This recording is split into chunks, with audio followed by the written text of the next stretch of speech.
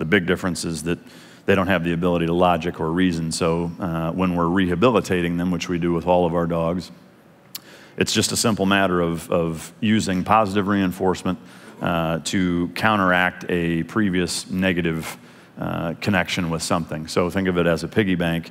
If the dog is very, uh, um, you know, reactive and, and, problematic around gunfire, then we use uh, positive reinforcement in conjunction with light gunfire a long ways away to slowly build that dog up and get them used to gunfire again and, and, and pair it with either playing tug or playing ball or giving treats or uh, long walks in the woods, blowing off steam, throwing the ball, exercising, etc.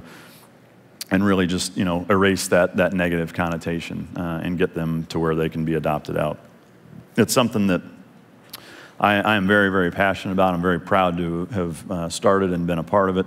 Uh, again, the, the amount of dogs that we've been able to, to save is, is truly remarkable. And, and most of the uh, people that come and, and rehome these dogs are former combat vets. Uh, most of them, mentality wise, are, I would say, very much on par with the dogs. They're cranky. Uh, they, they, don't get along with most people.